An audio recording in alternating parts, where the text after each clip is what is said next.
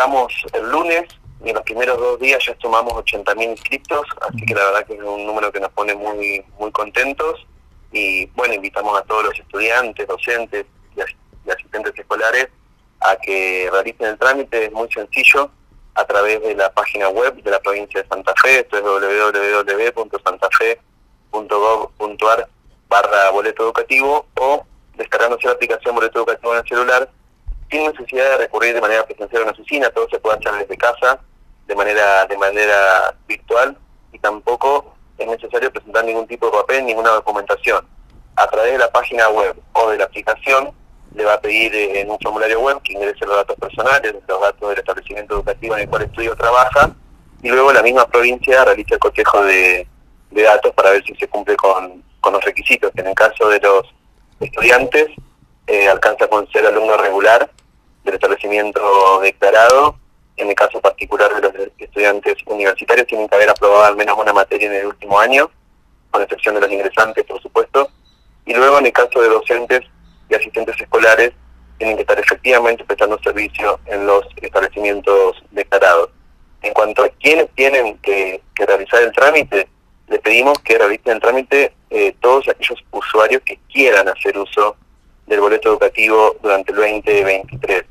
En tal sentido, bueno, tienen que hacerlo aquellos que por primera vez quieran acceder al beneficio, es decir, que no se hayan anotado eh, con anterioridad, pero tienen que volver a inscribirse aquellos que hayan hecho uso durante el 2022 o 2021. Tienen que volver a realizar el trámite de inscripción. Claro, no es que es automático la revalidación del mismo.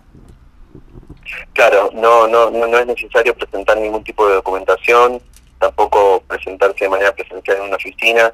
Eh, la verificación la hace eh, la misma provincia con el Ministerio de Educación, con la base de datos del Ministerio de Educación o con cada una de las universidades con sede en la provincia de Santa Fe. Claro. Está muy bien. Eh, Robert, ¿en cuánto tiempo llega la validación de esos datos? ¿Cuánto es lo que le demanda al chico que se inscribió hoy en tener la confirmación de que está apto para viajar? Bueno, por supuesto que en cada caso el plazo es distinto, pero estamos recibiendo las activaciones en 72 horas aproximadamente. Puede extenderse un poco más, en algunos casos en particular, dependiendo la, el nivel el nivel de estudio, el nivel si es primario, secundario, si es universitario, por ejemplo, eh, y a veces se activa muchísimo antes también. Claro. Eh, en algún momento eh, planteábamos hoy con, eh, aquí cuando surgió el tema y, nosotros hablamos de las bondades que tiene el, boleto educativo, los chicos tienen que optar si el boleto educativo es, los que vivimos en el interior, por ejemplo, este, si, el, boleto es para viajar de San Carlos a Santa Fe, o si el boleto es para este el, urbano o el interurbano de allí, de, el, urbano de allí de, Santa Fe propiamente dicho, es decir, de donde vive el chico hasta la universidad o hasta la casa de altos estudios. ¿Tiene que seguir optando o uno u otro? ¿No, no, no, no se le puede otorgar los dos? Depende de la distancia. Cuando la distancia eh, entre la localidad donde el usuario reside y donde se encuentra el establecimiento educativo es mayor a 60 kilómetros, ahí accedes al interurbano, pero además sumas el beneficio del transporte urbano de la ciudad donde estudias. Ahora, si la ciudad o localidad en donde uno reside queda a menos de 60 kilómetros del lugar donde se encuentra el establecimiento educativo, ahí accedes únicamente al interurbano. Claro, claro. Nosotros estamos en el límite, estamos en 50 y chirolita de kilómetros, es decir que los chicos de, de aquí de San Carlos tienen que optar o uno u otro. Van a tener dos por día en el interurbano. Bien. Eh, Robert, ¿a partir de cuándo está, está en vigencia? A partir de, suponte, ¿en enero está, está cortado el boleto? ¿Se corta todos los años? Abrió, sí, claro. Abrió el 23 de enero, lunes, la inscripción. Comienza a funcionar desde el 1 de febrero para todos aquellos que, por supuesto, tengan el beneficio activo. Desde el 1 de febrero pueden subir al coche y marcar sin que les genere coste. Si hay alguna demora, ¿se puede reclamar en algún lugar en particular? Bueno, en la ciudad de Santa Fe tenemos una oficina en la Fábrica Cultural de Molino. Ahí pueden también, eh, bueno, venir y, acompañar también nosotros en el proceso de inscripción para quien no pueda hacerlo de su casa o realizar cualquier tipo de reclamo. Y si no tenemos un correo electrónico oficial, que, que por ahí la vía más, que más usan los usuarios para comunicarse con nosotros.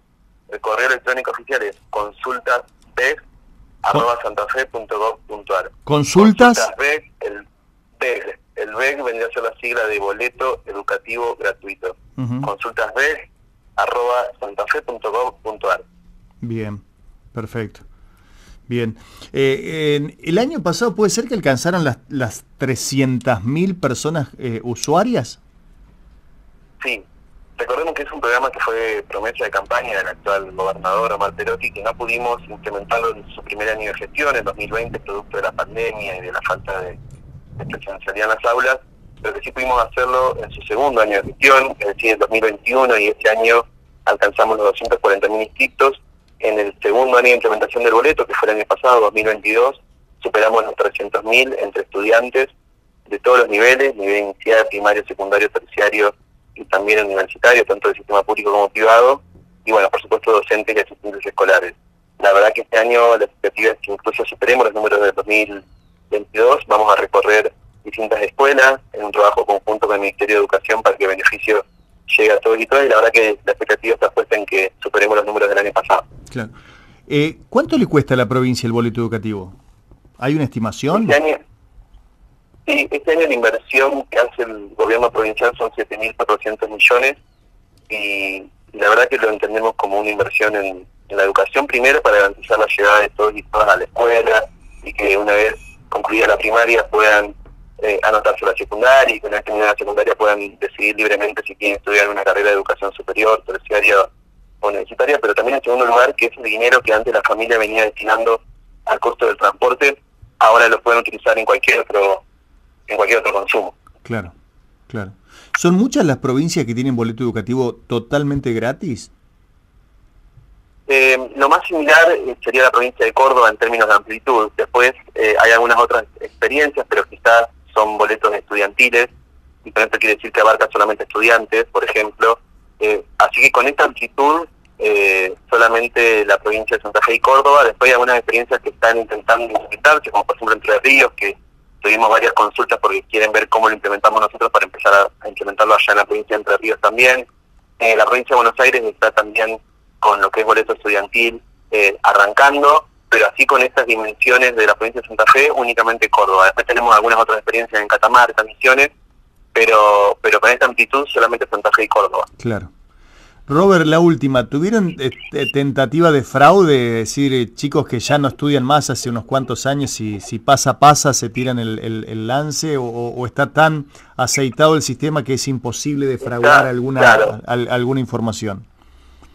No nos pasó, la verdad, de, de- de descubrir algún caso de esos, porque la verificación es directamente con el Ministerio, o sea, lo que es estudiantes primarios, secundarios, terciarios, la base de datos es la del Ministerio de Educación de la provincia, por lo tanto no hay no hay margen, digamos, para, para el error. Eh, en el caso de las universidades, por supuesto que dependemos de los archivos de cada una de las universidades eh, que nos envían ellos, y, y en el caso de docentes y asistentes escolares también la base de datos es la del Ministerio de Educación. Así que por ahí es muy difícil eh, engañar al sistema, por así decirlo. Claro, claro. La última, eh, abusando de su gentileza, eh, ¿existirá alguna posibilidad de que eh, hoy el boleto funciona eh, de lunes a viernes? Sí, Como hay muchos chicos que rinden los sábados o se tienen, no sé, tienen clases a las 7 de la mañana en la facultad este, y se tienen que ir el domingo del interior, ¿existe alguna posibilidad de que se revea para que se extienda todos los días de la semana? sí, hoy tenemos un- una lista de, de sugerencias o, de reclamos de estudiantes, de docentes, eh, que por supuesto estamos viendo de, de darle prioridad a... También tenemos, por ejemplo, en agenda lo, lo que son escuelas que tienen doble turno, que necesitan más de dos pasajes por día, por ejemplo, necesitan cuatro. Así que sí, eh, arrancamos y ahora en las próximas semanas vamos a ir haciendo los ajustes necesarios para que, para primero cubrir todas las necesidades y que el sistema funcione cada día mejor. Bien. Bueno, felicitaciones por el programa, ¿eh? nos parece una iniciativa fantástica y que se cumplan las promesas de campaña también está maravilloso, eh, vale la pena destacarlo no deberíamos destacar esto acá porque no, no, es más que el compromiso asumido con la palabra, pero en época donde muchos faltan a la, a la palabra, la, la, promesa del gobernador eh, Perotti se cumplió, en, eh, este, se cumplió con creces y ahora ya pedimos un poquito más, ¿vio? Ahora ya, pedimos que se extienda los siete días de la semana, pero bueno, tiene que ver con que... Bienvenido, bienvenido sea también todas las sugerencias y pido que nos hacen porque hace que, que funcione cada día mejor. Sí, de eso, de eso se trata, por eso nos tomamos el atrevimiento. Cuando dijimos que íbamos a intentar charlar con usted, nos llegaron inmediatamente este, mensajes de gente que dice, por favor que lo extiendan el sábado, que lo extiendan el domingo. A veces parece mentira, pero 400, 500 pesos por pasaje, quienes vivimos en el interior, por ahí, este, si, si lo dimensionasan en, en, el, en el mes, son 3 o 4 mil pesos este, de pasaje que te ahorrás. este, no, es, no, es un, no, es un, tema menor. Ojalá lo puedan rever. Robert, gracias por la amabilidad de siempre eh, a ustedes, eh. muy amable. Gracias a ustedes. Muy amable.